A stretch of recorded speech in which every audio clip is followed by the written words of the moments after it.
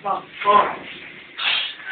Ka ulit yung maranasan mo sa akin, ha? Ito talaga. Ikaw ko sino sa kadena na to, ha? Kita mo. Yan, lagot. Nanimula ka ng gamit, sabi ko sa Manila. Basta may video pa.